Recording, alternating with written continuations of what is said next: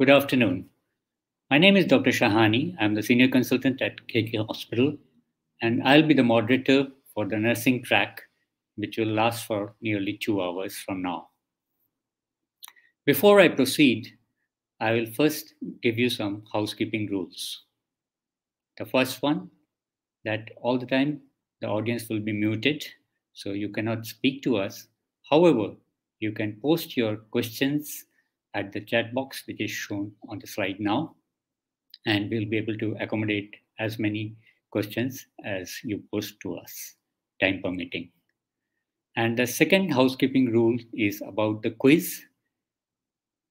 The quiz will have about 20 questions.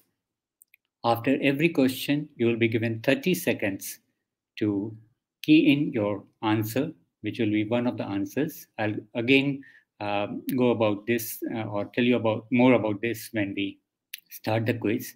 And you will be given 30 seconds to key in your answer, and then uh, we'll take it from there. So the today's program consists of two guest lectures, and we have two senior nurses from the KK Hospital to uh, give those lectures. May I have them on the screen, please? The first lecture is going to be role of simulation in teaching anesthetic nurses. And this will be presented by nurse clinician Yauli Bank. Yauli is with us for a number of years now, at least 15 years, and she has total experience of nursing, which will be nearly more than 20 years. Simulation has become one of the key word these days in medical field, including anesthesia, and we have a good uh, simulation lab in our hospital. Based on our experience, I will now invite Yauli to present her lecture to us. And this will be followed by question and answer for this session. Thank you. Yauli, please. I'm Zhao from KK Hospital OT Services, Singapore. Objectives today is going to introduce types of teaching strategy, define simulation, introduce types of simulator and simulation, share the examples of simulation conducted in OT services, discuss on benefits and challenges of simulation, and the future of teaching simulations.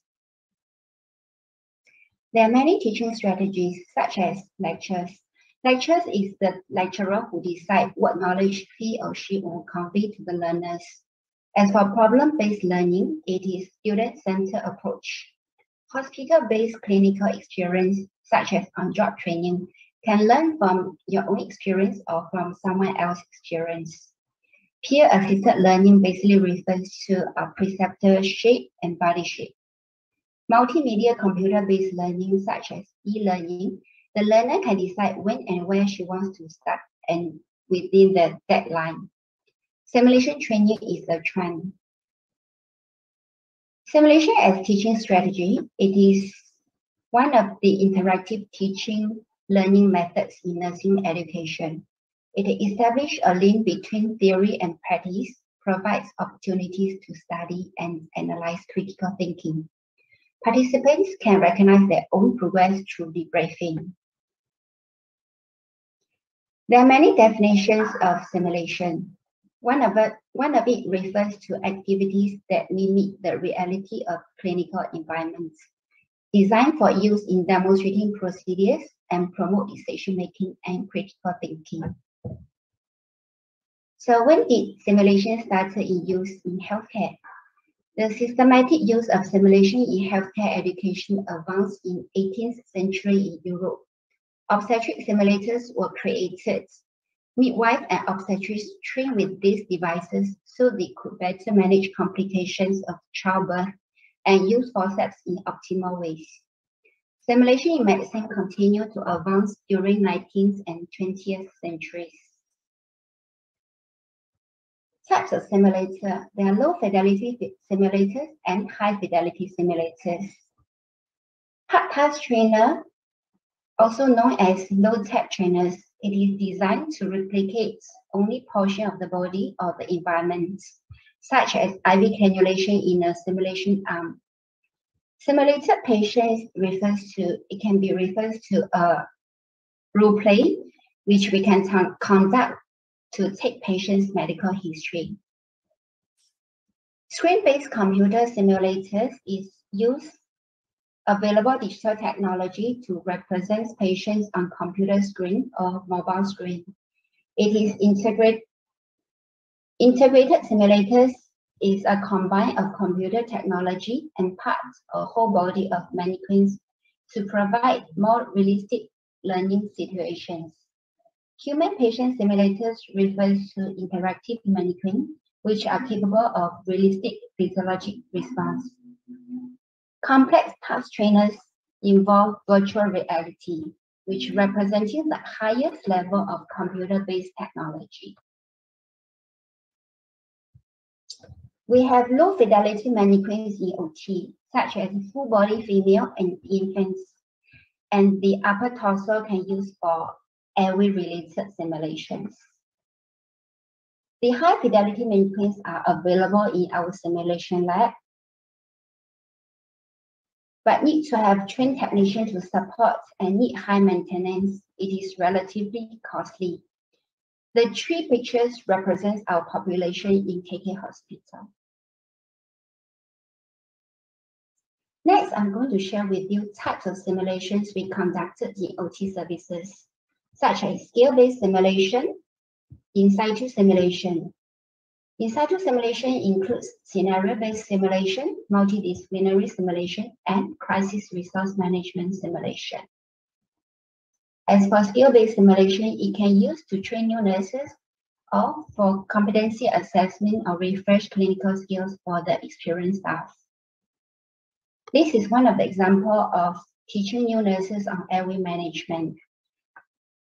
We showed the airway devices and the insertion of oral airway, assisting in airway intubation, and extended to difficult airways such as using bougie for intubation. This allows nurses to practice and also to allow them to do return demonstration.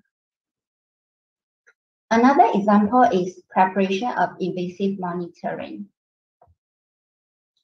It can be used to refresh the clinical skills, teach new staff, and competency assessments such as what level should this sensor do set and how much pressure can it be and how long they can take to prepare this invasive monitoring.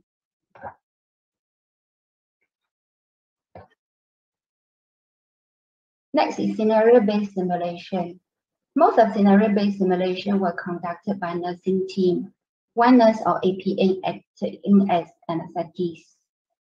And the scenarios are inclusive but not limited to the following, such as management of patient with morphine overdose, massive transfusion protocol activation, management of patient with anaphylactic reaction, management of patient with laryngospasm in PACU. If the nurse is able to recognize partial laryngospasm or is complete laryngospasm. Last is the anesthetic machine breakdown intraoperatively. Okay, this is these four pictures actually shows the process when the anesthetic machine breakdown. We have a new resident after intubation. He realized the machine cannot give ventilation to the patient. There's a loud leaking sounds. So our testing to the nurses for the objective is are they going to offer anything for the anesthetic to ventilate the patient, such as AirViver? For information, our AirViver have switched to disposable AirViver since 2020. And is she going to call for help and how long does she take to activate the help? So are they going to uh, prepare a pump to facilitate TIVA for patients to maintain under general anesthesia while waiting for the another, another anesthetic machine to come in. So the other machine coming, how long do we need to take to set up the machine?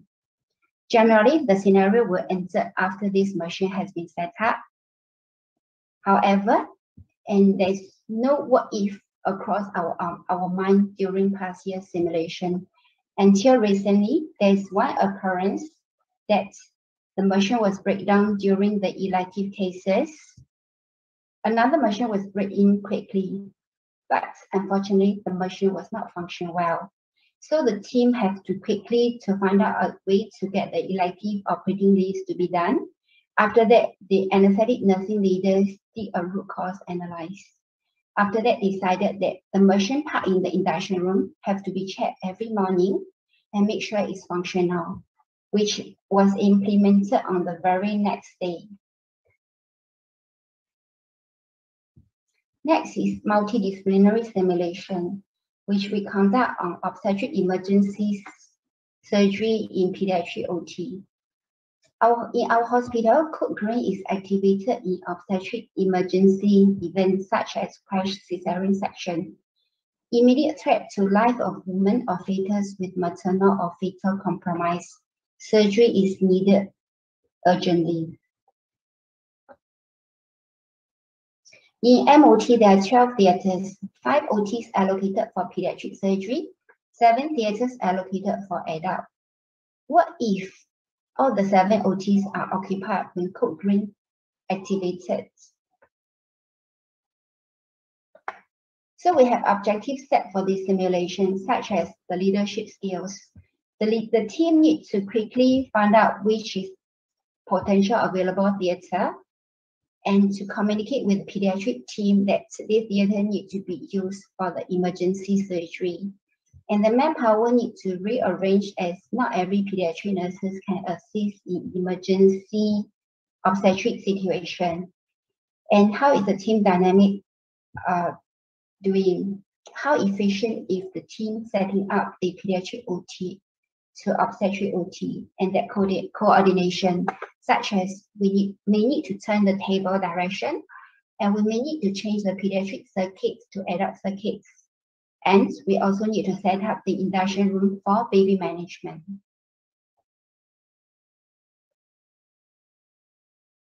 As for crisis resource management situation, simulation, the example is a management of patient with malignant hyperthermia. Malignant hyperthermia is one of the core simulations in our OT services, as MH is a rare genetic disease affect metabolism triggered by some of the anesthetic drugs. It is a real life-threatening situation. After each simulation, the findings and improvements will be shared during roll call. Here's a photo of dantrolene, as dantrolene is the only antidote for MH we get permission from pharmacists to keep the expired dantrolene in the department for simulation purpose. For safety reason, it is labeled not for patient, for simulation only.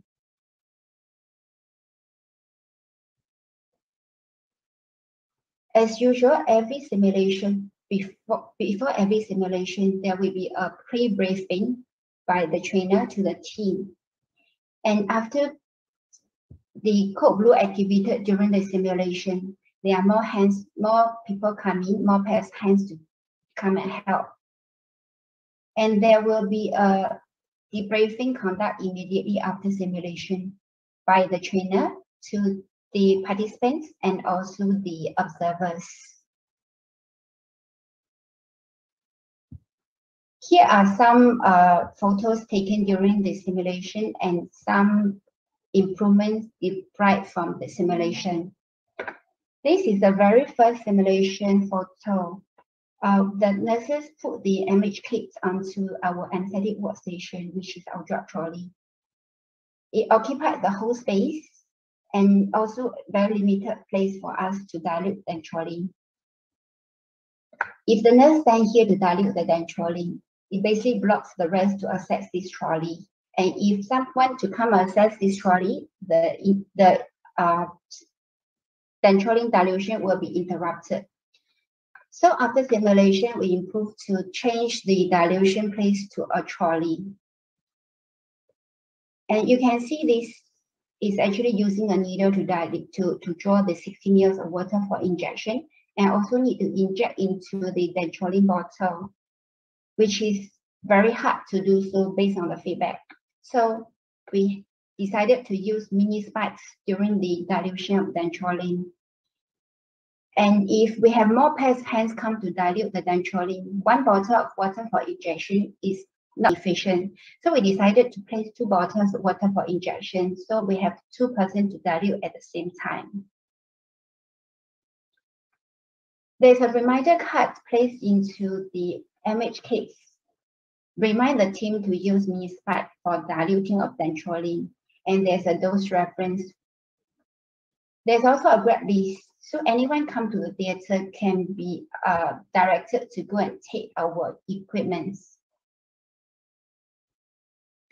In this surgery, there is no ice maker, and it is time consuming if from basement one goes to level two MOT to take the ice cubes.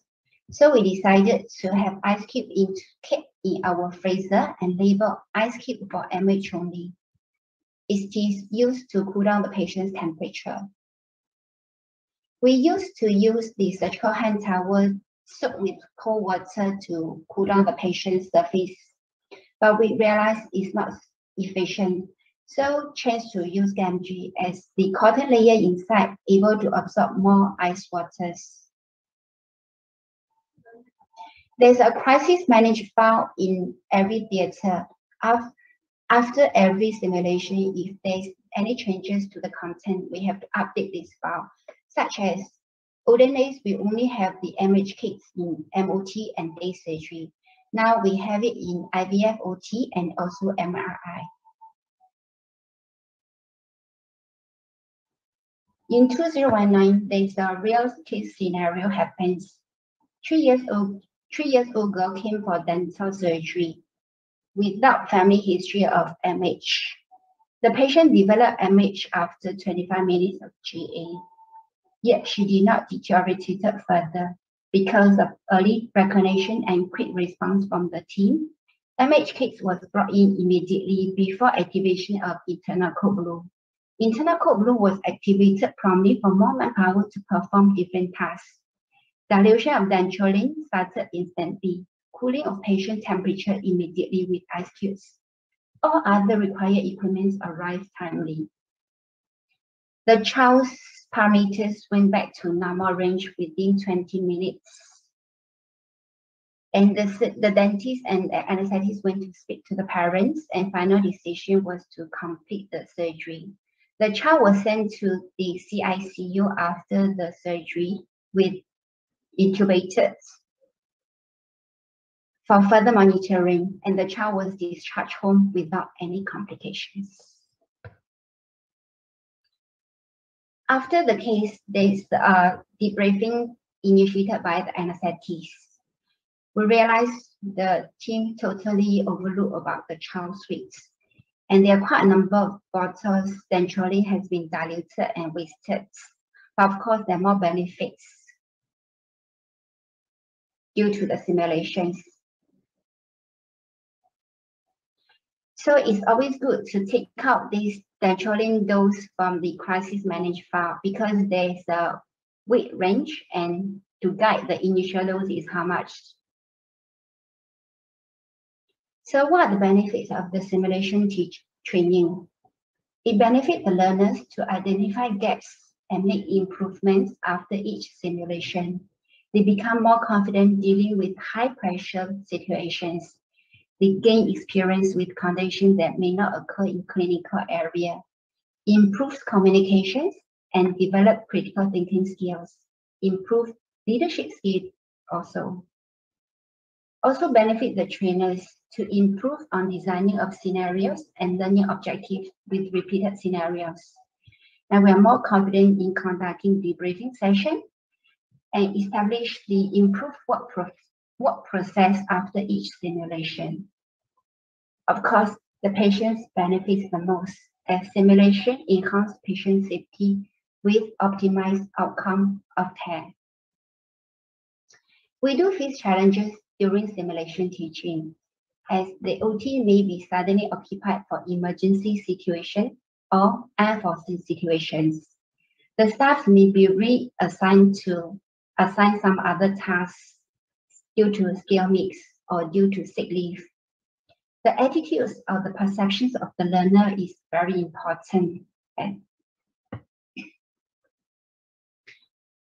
The simulation in future, we will explore using virtual reality simulation for future teaching.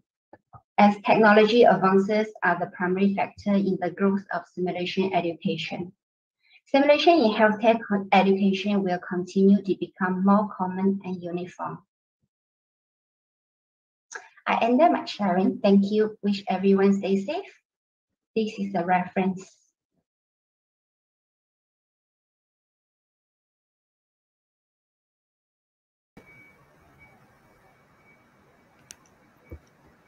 Hi. Thank Hi, you, Javli, for the lovely presentation. Uh, a well-researched topic. I have a couple of questions popping up. And the first one is, what is the cost of uh, setting up the simulation lab? Uh, well, setting up a lab involves uh, initial stage and subsequent uh, maintenance. Uh, it depends on how big is the room you want to set up with and the computers, the mannequins, and the manpowers and trainings. And after setup, you also have to have the manpower to maintain the facilities, the trainings. So uh, in overall, I'm not really sure how much it could cost, which depends on how you want your room to be set up with. Thank you. Mm-hmm. All right. And another question is, do you conduct any training for uh, people from other hospitals in Singapore or from overseas? Not at the moment. We conduct for our OT services in OT only at the moment. Yeah. Okay. All right. Since there are no more questions, I'd like to thank once again to Ms. Chavli for her presentation. And we move on to the next speaker. Our next speaker is uh, Ms. Uh, Josephine Clevel Matibag. She's assistant nurse clinician at KK Hospital and has been with us for a number of years. Her topic for the presentation today is role and scope of anesthetic nurses. So without further ado, I'll call on uh, Josephine to present her lecture to us.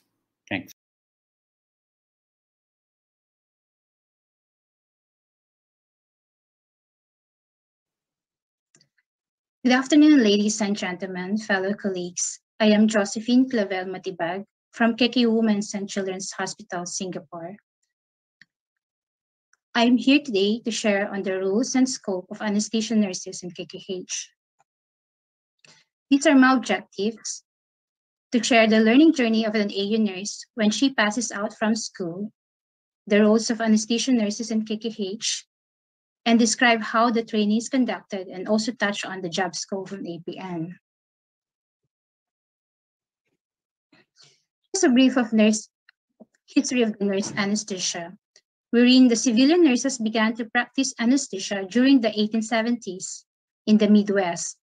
Sister Mary Bernard became the first nurse to specialize in anesthesia and took over the anesthesia duties of the hospital and the second mecca of nurse anesthesia developed in Cleveland, Ohio in 1900s.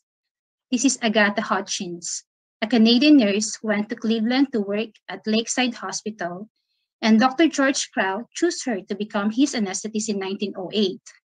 And as such, she became perhaps even more renowned than Alice Magaw. Together with Crile, Hodgins pioneered the use of nitrous oxide and oxygen anesthesia and introduced it in World War I open and lead a prominent school for the nurse anesthetists that endured the first major challenge from the physician anesthetists in 1931. Hodgins also alone founded the American Association of Nurse Anesthetists. And the presence of trained anesthesia nurse during induction of anesthesia is a contributory factor to safe patient management. In KKH operating theater services, we have the following OTs situated at different levels. OT at L3, we have one OT. OT at L2, 12 OTs.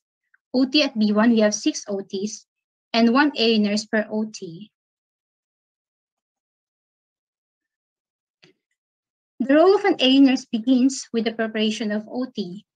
We ensure that anesthetic machine is checked and functional, suction apparatus is working, and various sizes of catheters is readily available. Vital signs equipment like the ECG, SpO2, and, and blood pressure monitoring is available. Operating table is functioning well. Intubation equipment like ETT, bougies, stylets, or our laryngeal mask and different various sizes of face mask is readily available. And scavenging system, scavenging system is always on. After the prep of OT, we do preparation of patient. Upon knowing the nature of operation, we will know the type of anesthesia to be delivered.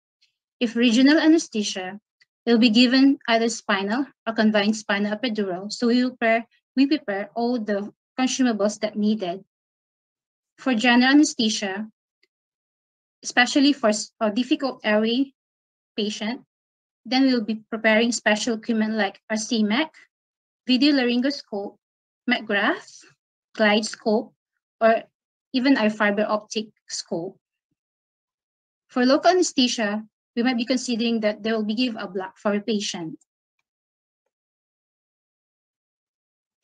After which, we prepare for the equipment, like for complex cases, additional monitoring. We prepare consumables for CVP or the central venous pressure, arterial line, BIS application. We also prepare the different positioning aids and appropriate positioning aids and blood products for complex cases always available in our blood fridge.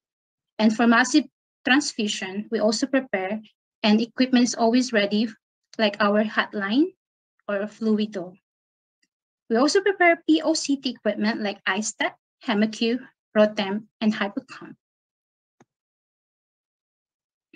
After preparation, then we, we assist anesthetists during phases of anesthesia.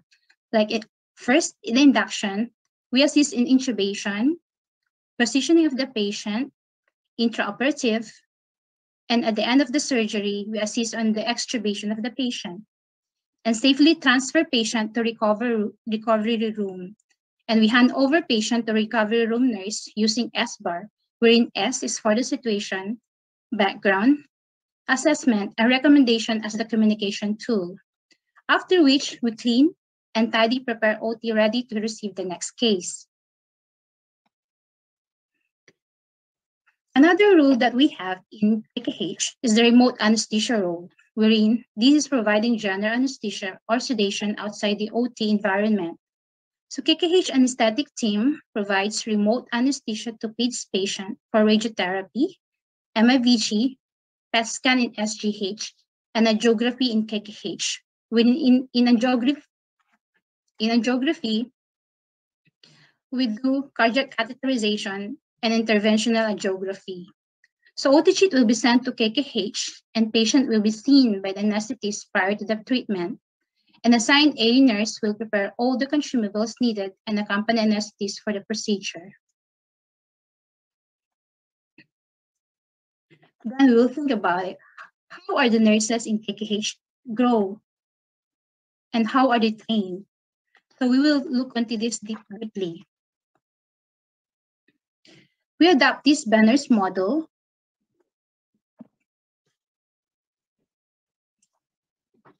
when the novice to expert model was introduced into nursing by Dr. Patricia Benner in 1982 and discuss how nurses develop skills and understanding of patient care over time. Benner's model also described the transition of a nurse from novice and from different stages starting from a novice and at novice level is where our nurses are when they join our department, fresh from school. And from there, they go through different stages of learning till they become expert.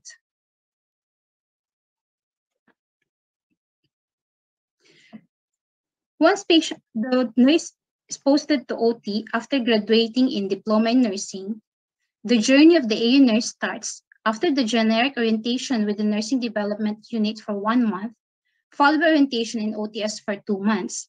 Where the nurse rotates within the OTS to gain exposure in various areas and learn on the processes. She is then attached to a preceptor that oversees her journey throughout her learning phase. And she will be attached to a body also daily who is a senior AU nurse and teach on the routine and skills, which I will further elaborate.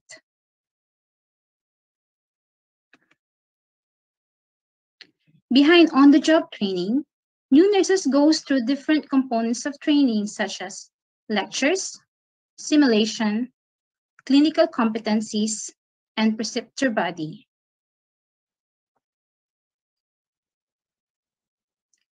To tap on theory knowledge, lectures are given by anesthetists and clinical instructors on the following topics, ECG interpretation, management of postpartum hemorrhage, airway crisis, total intravenous anesthesia, and ventilation modes.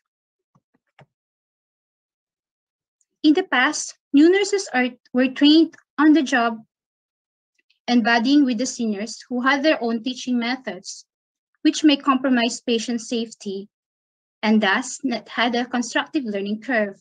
However, today, with the simulation training, a more structured program is in place. So new staff will attend theory classes followed by skill training on mannequins, leading to improved clinical performance and increased self-confidence and enhanced patient safety awareness when faced with different clinical situation. As you can see from the picture, the clinical instructor is teaching the new operating theater nurse on the knowledge and te technique of holding and bagging of face masks in an pediatric and adult mannequin before they practice in real life situation. Another components of training we have in our department is the core simulation training in OT services, wherein we familiarize and the workflow for malignant hyperthermia, LA toxicity, code blue, code green. Code green is an obstetric emergencies which attempt to deliver a live baby as soon as possible within 15 minutes from the time of activation and machine failure intraoperatively. And this is done con and conducted twice yearly.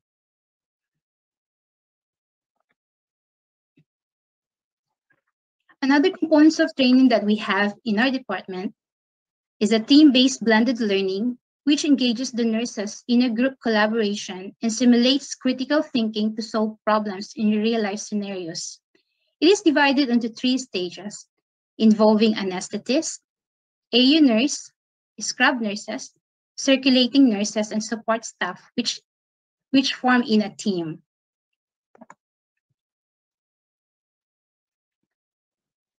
In the first stage, a scenario and questions given for the discussion among the groups.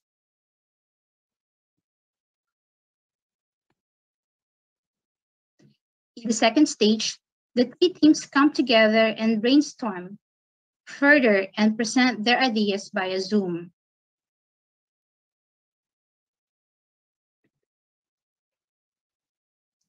And the last stage is the simulation that builds critical thinking in a nurse and gives her the confidence to perform in a similar situation.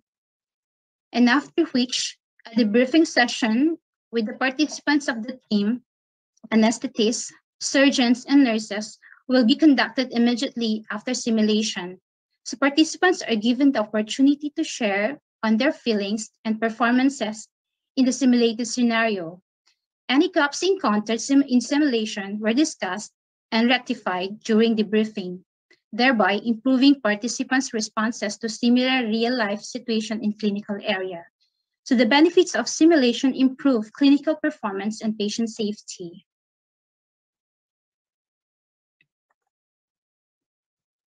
After the entire process of the three-stage blend, blended learning, gaps were identified in processes and improved upon and participants give positive feedback on the good learning experience and this also give them an opportunity to familiarize with the setup in OT and staff express more confidence in performing their roles as OT nurses.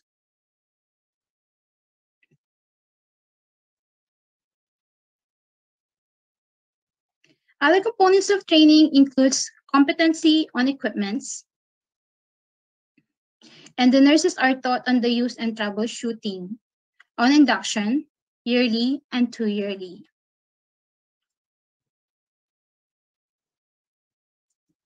The body also and preceptor are given a guide on what they need to teach and allow the nurse to practice till reach proficient level. Also, the nurses are required to complete IV medication and IV cannulation courses before they reach the stage of being a competent AU nurse. They also learn on protocols in PACU, such as nurse-controlled analgesia, where the nurses can administer IV morphine and IV fentanyl using a protocol as a guide. And the nurses also learn to discharge patient from recovery room using a protocol.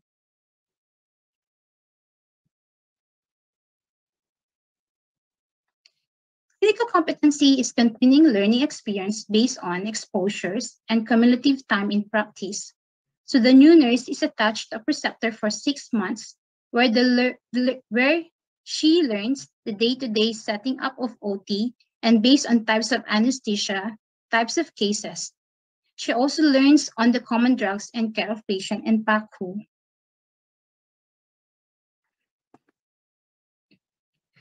Preceptor oversee the competency to do a weekly follow-up with the new nurse.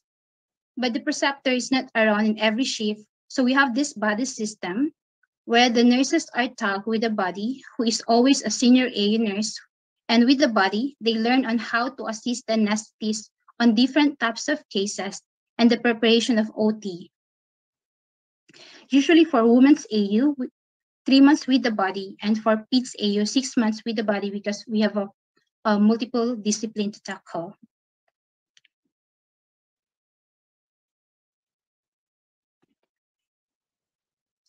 Then once completed all the competency, participated in simulation, independently able to assist the necessities and anticipate the needs of the patient, and this usually takes up a year to reach proficient stage and two years to reach expert stage the A nurse will be labeled as trained and competent AU nurse.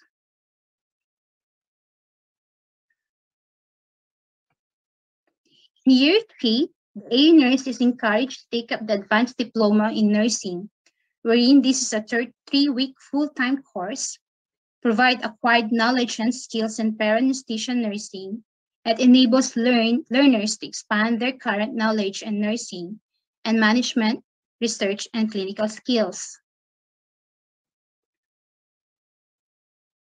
In year five, the A nurse have further opportunity to consider being advanced practice nurse, which this is a two-year Master of Nursing course, a year internship in institution, and currently we have two APNs in OT services.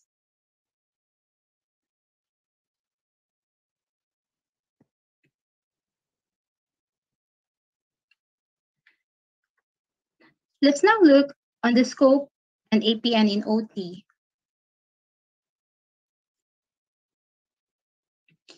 They need to learn and pass the following com competencies such as cannulation, venipuncture, arterial blood sampling, invasive airway management, oral intubation, non-invasive airway management, supplementary oxygen therapy, which determine the usage of nasal cannula and simple oxygen face mask.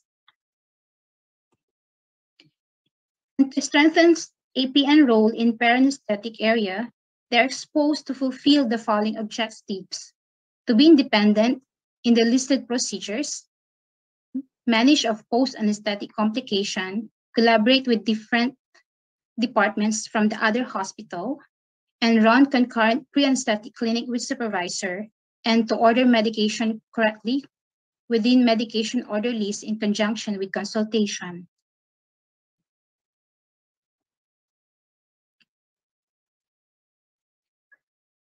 An um, advanced practice, practice nurse wears multiple hats as she's deemed as leadership and management because she builds effective teams crucial leadership roles as change agent and promotes patient-centered care. A perioperative assessor because she does a clinical investigation that precedes anesthesia for surgical procedures. Intraoperative member because she cares for the patient from the time the patient is moved to OT until patients transferred to the care of the recovery nurse. A postoperative reviewer because she assesses patient pain management, wound care, and the well-being of patient postoperatively.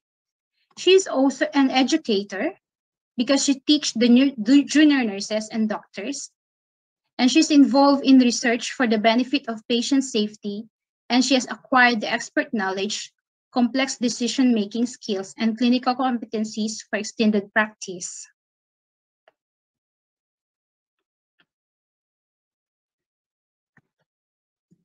And these are the scopes of APN in OT. They also do pre-anesthetic assessment, independent in anesthetic procedures, the man management of post-anesthetic patients, post-anesthetic care unit. They teach hands-on formal teaching, complicated case study sessions for nurses and junior doctors, and they also participate in research committees.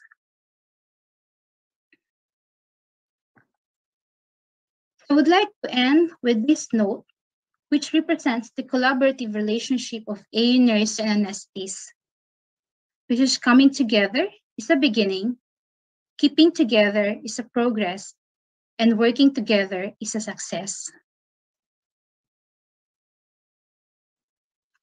That ends my presentation. I would like to say thank you to everyone for taking your time to listen attentively to my presentation, and I'm ready for the Q&A.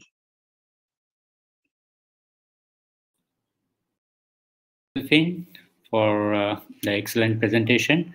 Can I have both the speakers back on the screen? Yeah, thanks very much. Uh, I will first be asking the questions which have been sent for Josephine, and there are a few late questions coming up for Javli, which I'll take up a little later. Josephine, the question which has come for you is, how is the seniority in your hospital decided?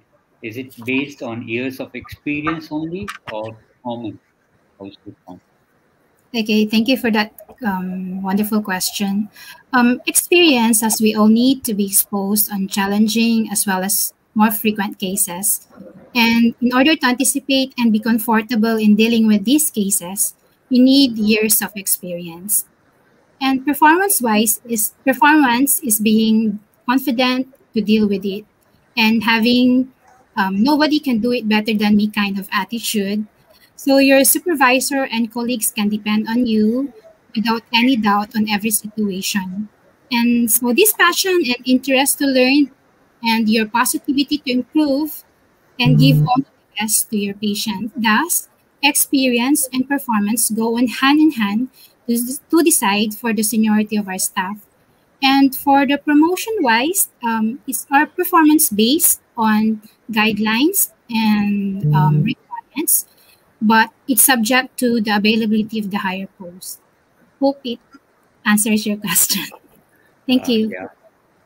And the second question for you, which has popped up, is there is hardly any appreciation from the parents for AU nurses compared to the nurses who work in, say, wards or ICU. Does that affect the morale of the IU, AU nurses? Oh, such interesting question. Thank you for that. Um, yeah, it would be nice to have compliments sometimes to feel good about yourself. But mm. because we are working where no parents can see on how we care with their kids or relatives, mm. we understand that we are less appreciated sometimes. But this doesn't affect the morale of morale as a AU nurse or discourage us from mm. um, to work harder, but instead to to strive for our best because it's fulfilling that we uphold zero harm to patient and give the utmost care as possible. And on the other hand, some of our colleagues, supervisor, doctors, and anesthetists also, we're also appreciative on what we do. So they give good feedback to our supervisor and they give thank you messages, give on occasions. Sometimes they give us food to share Mm-hmm. And uh, yeah, so it, it makes it boosts our morale in that way. Okay. That's why said- yeah. Thank you.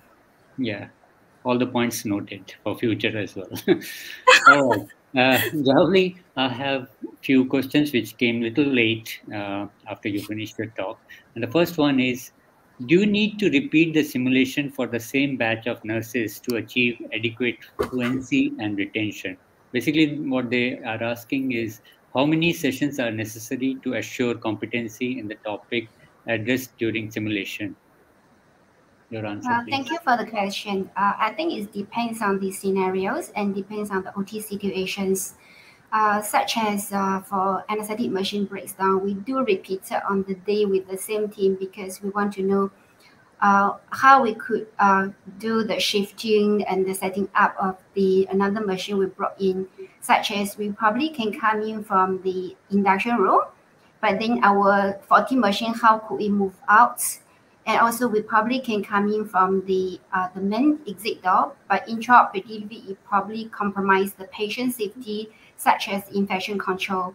So, Mm. uh, but for other scenarios like uh, multidisciplinary or crisis management, if the OT situation allows, we probably can repeat, but most of the time we don't because during the debriefing session, uh, the we identify the gaps and the improvements during the debrief.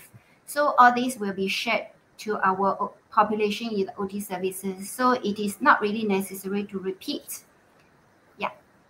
Hope I do you do, do you do any competency test um, suppose you have done a simulation for a particular thing for example like uh, failed anesthesia machine uh, and uh, say about eight or ten nurses have attended the simulation and you have done the debriefing after that do you do a written competency test after say a month or two month based on the same topic to find out whether they Um, have retained the knowledge gained during the simulation?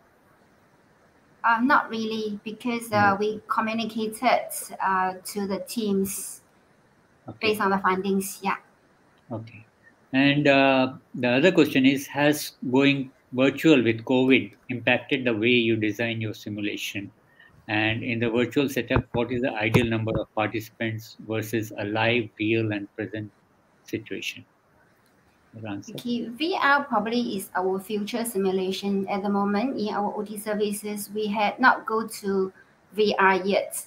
Uh, the reason such as the cost, because uh, of VR design and the VR equipment and the technical support.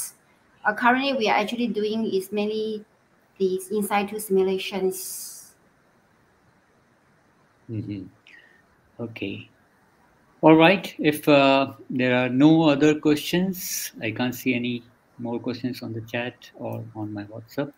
So I'd like to thank both the speakers once again, and we will get we'll uh, bring you back after the quiz for one final time later. Thank you, both of you. All right. We now move over to the next segment of our nursing track, which is the quiz. Can I have the slide?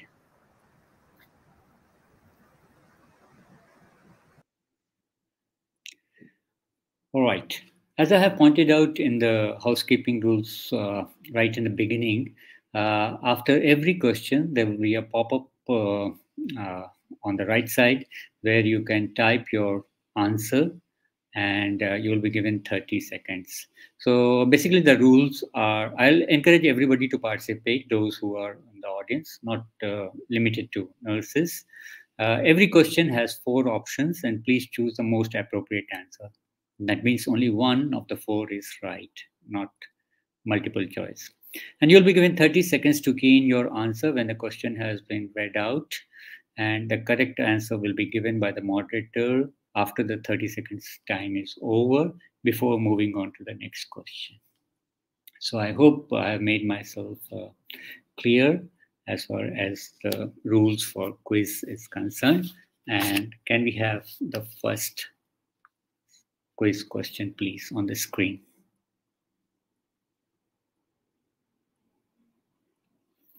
Okay, the first question is simple. World Anesthesia Day is celebrated every year on A, 16th October, B, 18th October, C, 20th October, and D, 22nd October. Your time starts now.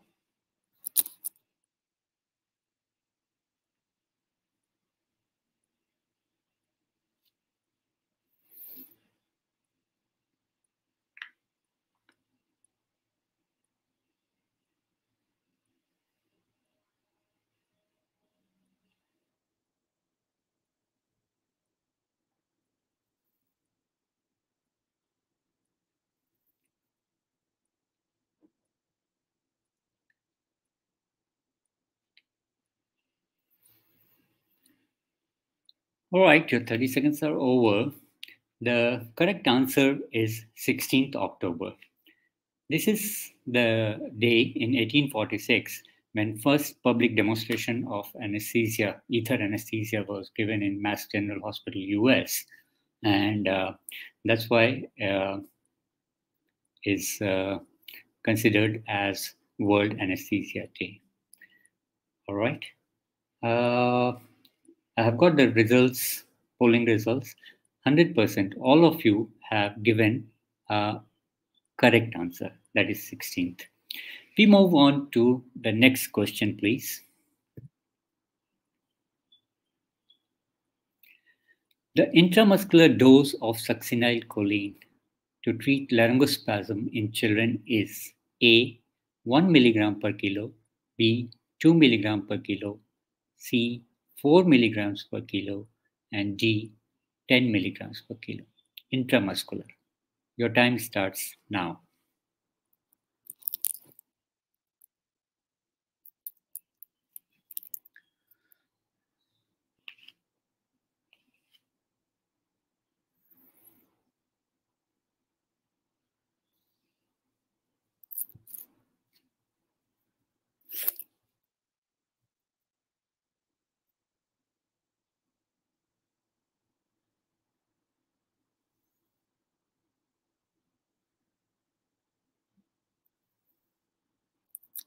All right, your time is up. The correct answer is C, 4 milligrams per kilo. The intubating dose of uh, succinylcholine is about 1 to 1.5 or maybe up to 2 milligrams per kilo. For treating laryngospasm, if you are giving intravenous, the dose is much, much lower, 0.2 to 0.5 milligrams per kilo at the most. But if the child doesn't have IV access and has gone into laryngospasm and you need to give succinylcholine, then the intramuscular dose is 4 milligrams per kilo. All right, now I have the polling results with me here. 43% uh, of you have given the answer correct, 4 milligrams per kilo, and 57% of you have given the answer 1 milligram per kilo. Probably uh, the catch was intramuscular and uh, those who were given the wrong answer probably got stuck with the IV dose. Anyway, doesn't matter. Questions will become more interesting and uh, tougher, if I may say. So we'll move on to the next question, please. The next slide. PIN index refers to the safety aspects of anesthesia machine, A, B. Operation table, C. Diathermy machine, and D. Operation theater light system. Your time starts now.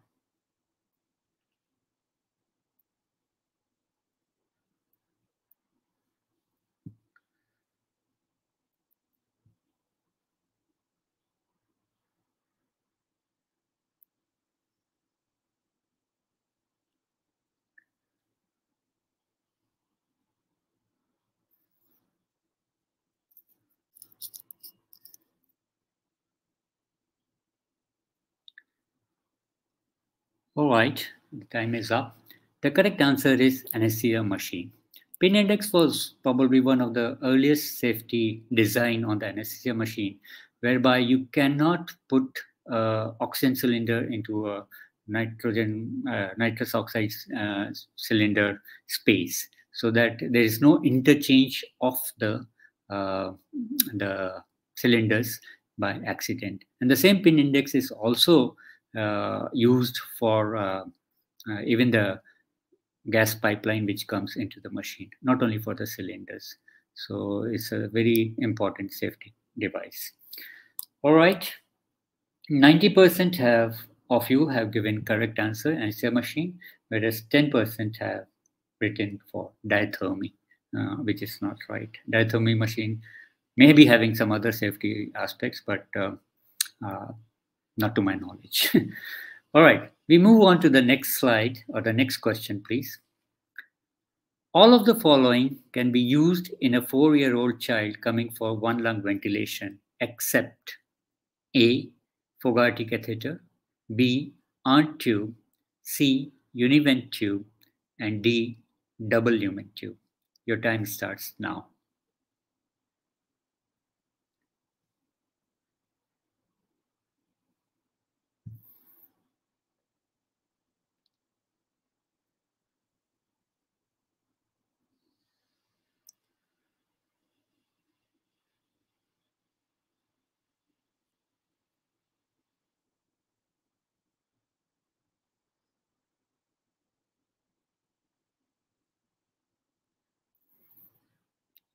All right, the time is up. The correct answer for this particular question is D, double lumen tube, because in a four-year-old child, we will not be able to put a double lumen tube because the smallest size of double lumen tube is size 26, whereas the other things mentioned, A, B, and C, can be used. So now I have the polling results with me. 100% of you have given correct answer that's double lumen tube cannot be used in a four-year-old child. Can we have the next question, please? U wave in ECG is typically seen in the following condition. A. Hyperkalemia. B. Hypokalemia. C. Hyponatremia. And D. Hypernatremia. Your time starts now.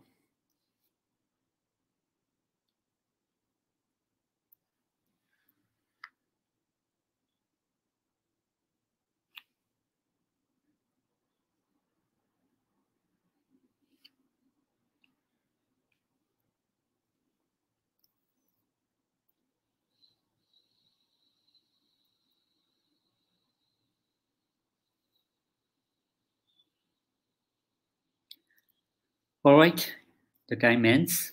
The correct answer for this particular question is hypokalemia. In hyperkalemia, you get tall T waves. Hyponatremia and hypernatremia, um, I, I, don't remember myself actually what are the changes on the ECG, but the correct answer for this is B, hypokalemia. Again, all of you have given 100% correct answer, that is hypokalemia. Can we move on to the next question, please?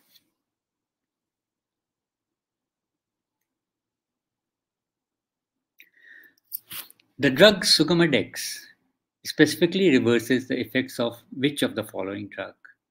A. Rocuronium, B. Atracurium, C. Mivacurium, and D. Succinylcholine. All four of these are muscle relaxants. Your time starts now.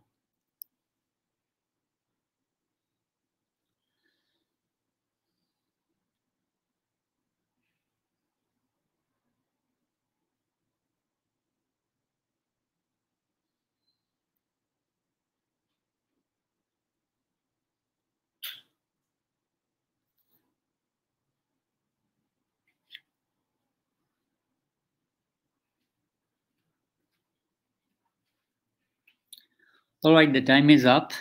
This particular drug came into uh, clinical practice only in the last decade or so, and it specifically reverses the effect of rocuronium, not for other drugs. So it's very, very, very specific. Again, all of you have given correct answer, which is A, rocuronium. The next slide, please.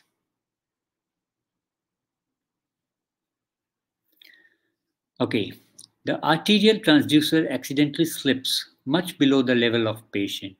Which of the following statements is true in this condition? A.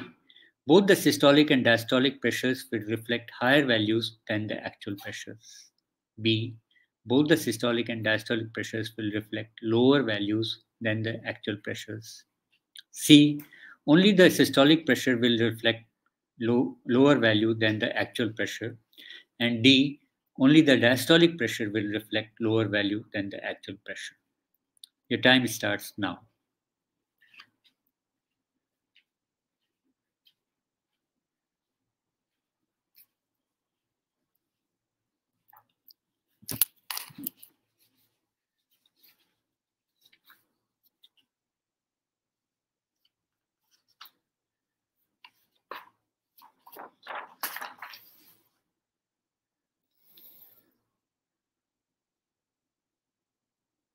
Okay, the time is up.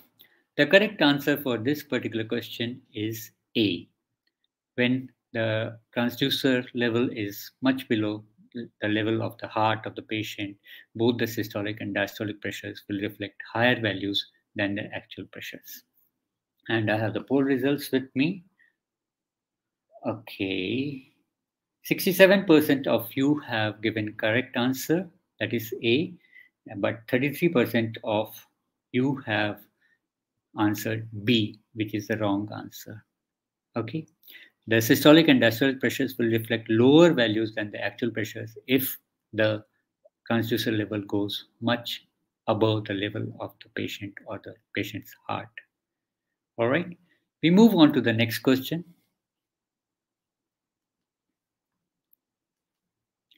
Which statement is true for local anesthetics? A. The maximum dose for infiltration for lignocaine without adrenaline is 7 milligrams per kilo. B. The maximum dose of infiltration for lignocaine with adrenaline is 4 milligrams per kilo. C. The maximum dose for infiltration for bupivacaine with adrenaline is 7 milligrams per kilo. Or D. The maximum dose for infiltration for bupivacaine is same with or without adrenaline. Your time starts now.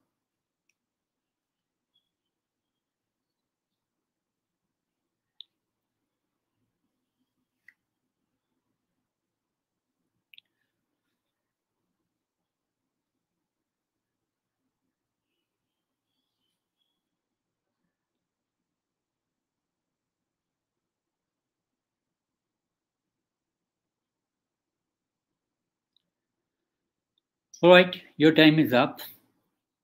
The correct answer to this question is D. That is, the maximum dose for infiltration for bupivacaine is same with or without adrenaline, which is about 2 to 2.5 milligrams per kilo. Adrenaline without lignocaine is about 4 milligrams per kilo. With adrenaline is 7 milligrams per kilo.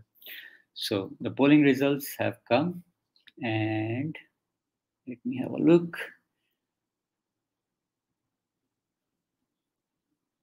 83% of you have given correct answer, which is D, and 17% have gone for B. Uh, probably you confused with the dose of lignocaine with or without adrenaline, which is just the reverse in A and B. So the correct answer is D. Can we have the next quiz question, please? The normal value of end-tidal carbon dioxide is A, 25 to 35 millimeters per millimeters mercury, B 35 to 45 millimeters mercury, C 55 to 65 millimeters mercury, or D 70 to 80 millimeters. This should be one of the simplest question. Your time starts now.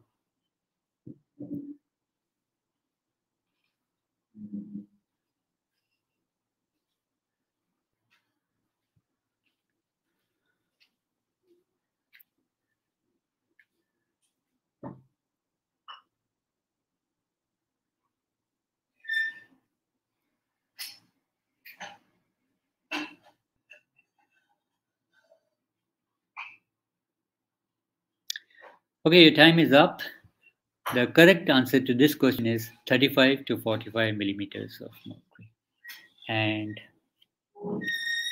100% of you have given the correct answer. As I told, this is one of the simplest questions. Can we have the next slide, please?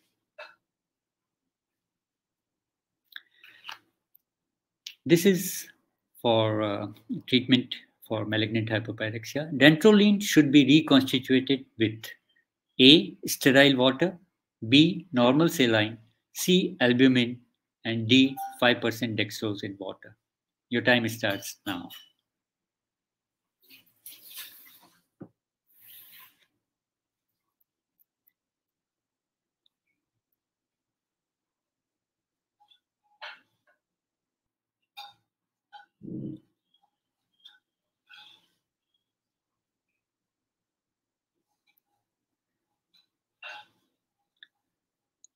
All right, your time is up.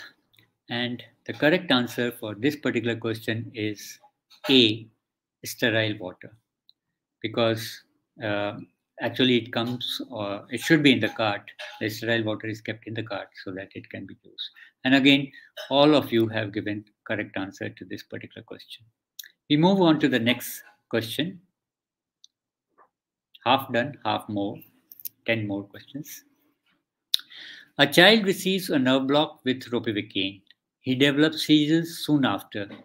The LA systemic toxicity is suspected by the anesthetists. What is the appropriate treatment? A. Methylene blue. B. Flumazenil. C. Intralipid. And D. Naloxone. Your time starts now.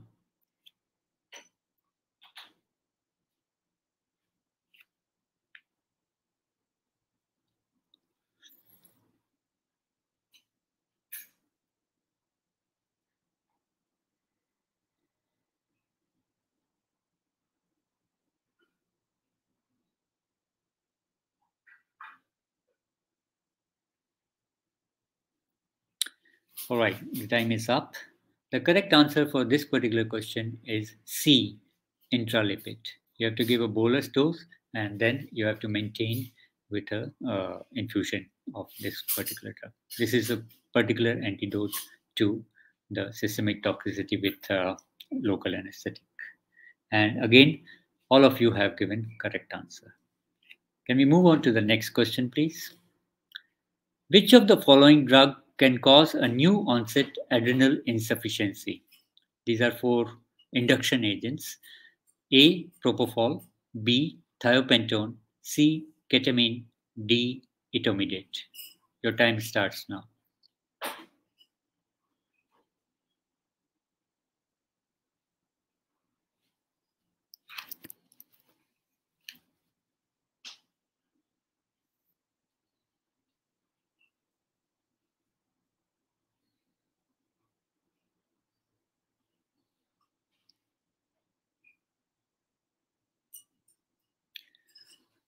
All right, the time ends.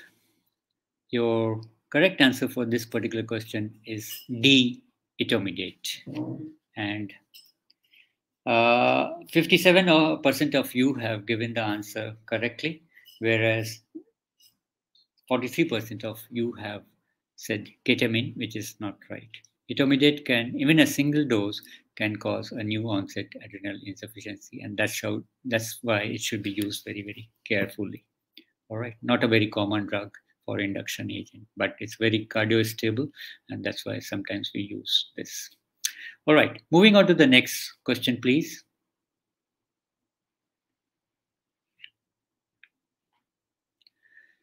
What is the design that modern vaporizers use? A. Wet wick B. Electromagnetic induction. C. Copper kettle. D. Variable bypass. Your time starts now.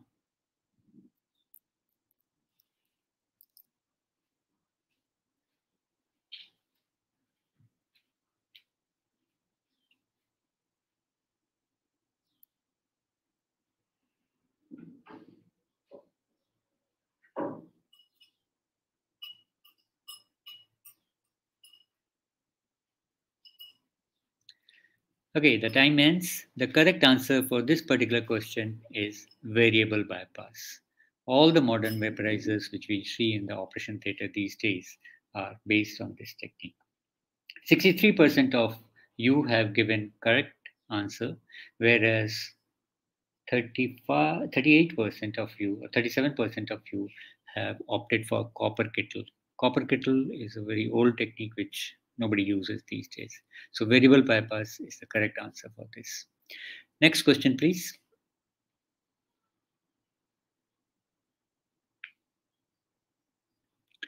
Which of the following blood product has the highest risk of bacterial contamination? A.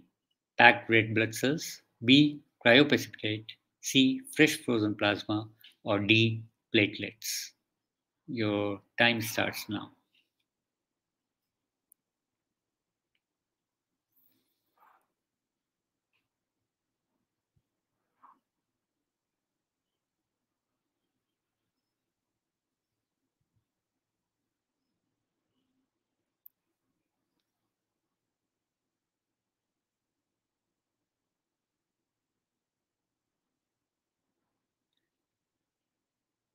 Okay, the time ends.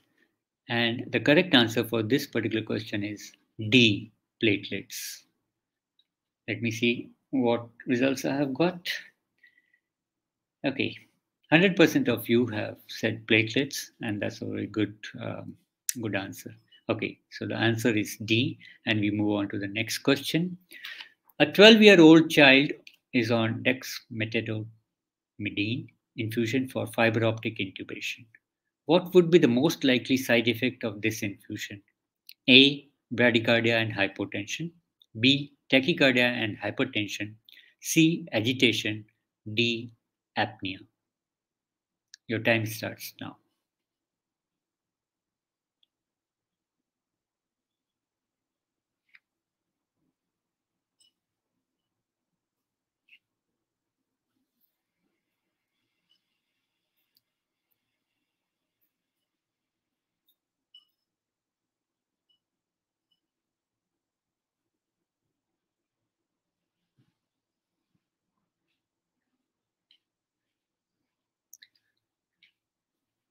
All right, the time is up.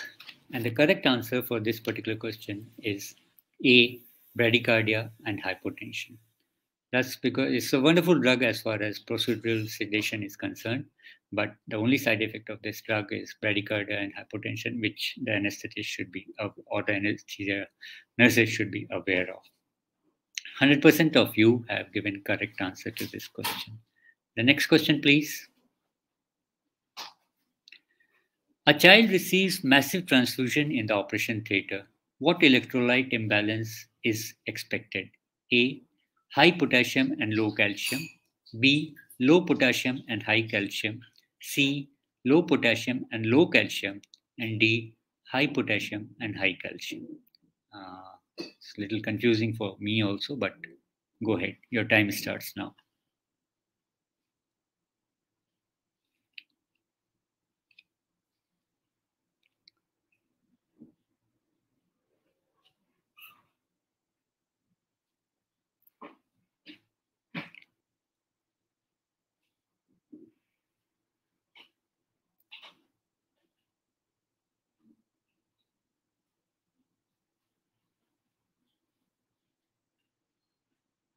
All right, the time is up. The correct answer for this particular question is high potassium and low calcium. And again, 100% of you have given correct answers. Next slide, please. The normal intracranial pressure, ICP, in a small children, sorry, a question should be read as normal intracranial pressure in a small child is A. 0 to 4 millimeters mercury, B. 5 to 15 millimeters of mercury, C. 30 to 40 millimeters of mercury, D. 50 to 70 millimeters of mercury. Your time starts now.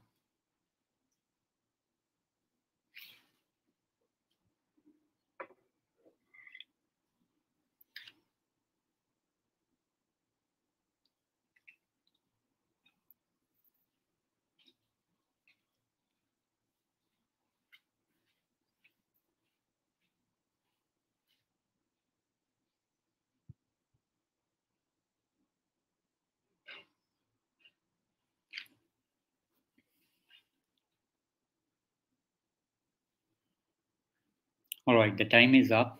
The correct answer for this particular question is 5 to 15 millimeters of mercury. That is B. It's more or less same in adults as well as in children. And 75% of you have given correct answer, whereas 25% of you have said 0 to 4 millimeter mercury, uh, which is not correct. Moving on to the next question, please.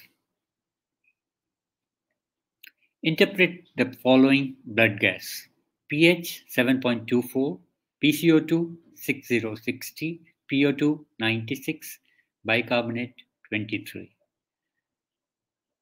And the answers are A. Respiratory acidosis, B. Respiratory alkalosis, C. Metabolic acidosis, and D.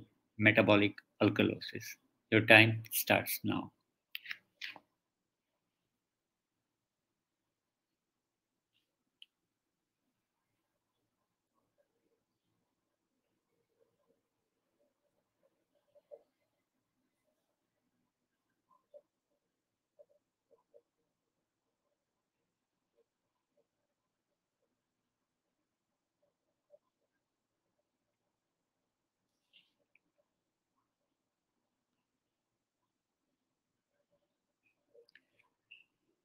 All right, the time is up. The correct answer is A, respiratory acidosis.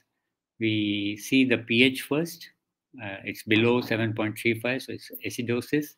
And then we see that PCO2 is much higher than uh, the normal values, so it's respiratory. So the correct answer is A, respiratory acidosis. And 89% of you have said respiratory acidosis, correct? Though 11% of you have mentioned metabolic acidosis. In metabolic acidosis, you will have low bicarbonate. This bicarbonate is nearly normal. Normal range is between 22 to 27 milligrams per liter. So the correct answer is respiratory acidosis. The next slide, please. In a situation of extreme emergency where group cross matching is not performed, which blood type is the most appropriate for transfusion? AB positive, AB negative, O positive, or O negative? Your time starts now.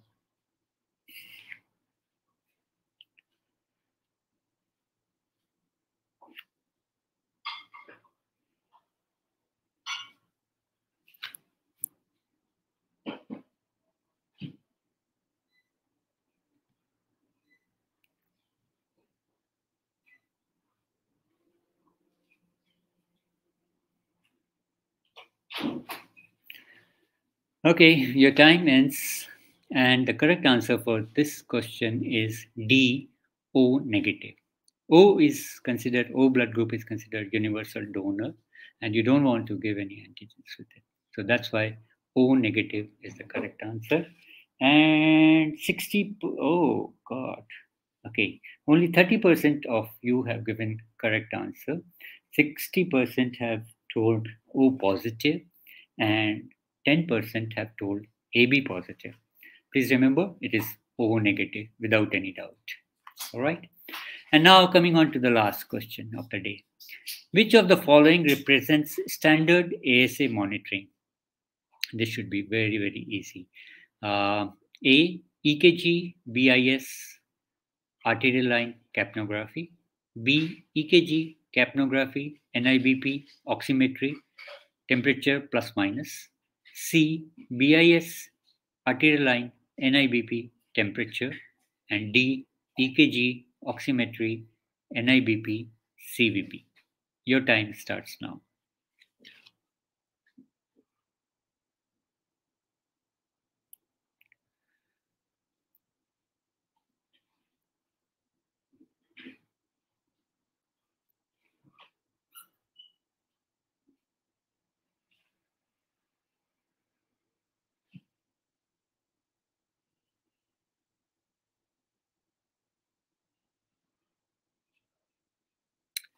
All right, your time is up. And the correct answer for this is B. Uh, we do it on a routine basis in the operation theater. EKG, capnography, NIBP, and oximetry is more or less seen in for every patient. And uh, these days, temperature is also an important aspect where we uh, any any patient who is coming for more than half an hour surgery is ideal to monitor temperature. And in small children, even if it's less than half an hour, some of us will prefer to monitor the temperature because it has its own consequences in the PACU or in the operation theatre itself. So, ladies and gentlemen, thank you very much for taking part in the quiz and I'll give you the answer. Wow, I didn't expect this. Only 64% have, of you have told the right answer. 18% um, have opted for A, EKG, BIS, arterial line and capnography. And 18% of you have said C, which is uh, BIS, arterial line, NIBP, and temperature. I was expecting 100% of you will say correct, but anyhow, it doesn't matter. So now we have come to the end of the quiz. May I ask uh, uh, the organizers to bring uh, the two speakers and myself back on the screen, please? All right. Before I end this session, I'd like to ask uh, first, I'd like to thank both the speakers and, of course, myself for taking time out and making uh, quiz questions. And uh, I'd like to know from Josephine and Jowly whether they would like to say anything. Um, go ahead, please. Josephine first. Okay. Um, yeah, I would like to say my gratitude of thanks to my AU sister, Sister Malkit, for sharing her thoughts and um, going through my journey in ASPA. And my OTS KK Hospital OTS family, thank you for your support. And to Dr. Shahani and the ASPA committee for giving me this opportunity to share and present on this platform. Thank you so much. Thank you. Yavli, anything from you?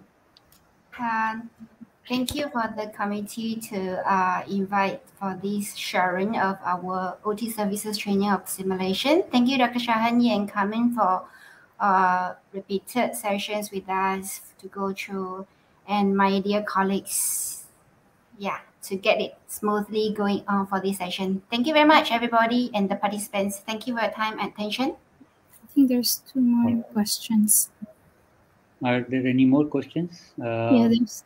I think there's two no. questions, Dr. Shahani. Those two questions were for Javli. I've already asked, so can't repeat the questions. Um, All right. How are nurses trained to be preceptor and educators? Okay. Um, for Josephine, yes, we have time, so we'll go with the, this question. In your experience and journey, which has affected you most? Uh, okay, and uh, you had to choose from the modes of lectures, simulations, preceptorship, etc. Which top two would you pick? Can I not choose? Actually, they're all equally important. Wow, Can I not choose? Answer. Very good. They're all equally important because preceptor because they they will uh, give you a guide and they will teach you at first all mm. all the things that you need to be an competent AU nurse. Mm. A lecture because they will teach you the right way and to top up your knowledge. That's why it's equally important. And simulation wise, simulation based, um, it will build your critical thinking and build your your confidence in dealing with this crisis situation and you'll be familiarized in all it. That's why it's all equally important. Thank okay, you. There's one more question for you, Josephine. How are nurses trained to be preceptors and educators? I believe you touched upon this aspect a little bit, uh, but somebody yeah. wants more clarification on this. There, it's an on-the-job training, on-the-job training, and um, they will send them for courses.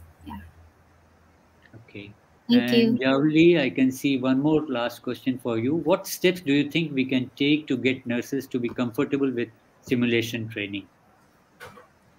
Um, well, I think is how the team uh, perceive regarding the simulations, especially during our debriefing session. It is an encouragement rather than uh, criticize them, so uh, they can be more attentive to the sessions rather than be negative feelings. Mm-hmm. All right. I thought you were going to say we should give all of them a small dose of beta blockers before they come to the simulation. But anyway, uh, that's your job. all right, uh, ladies and gentlemen, those who have attended this session or those who are going to see us later uh, by video on demand, thank you very much for your time and we will conclude. But before conclusion, I will just say that there's a small survey uh, for the conference. Please make sure this is the QR code for that. And please give your feedback on today's program. Write good things only. And uh, thank you all and take care. Bye bye. Thank you. Bye. Bye.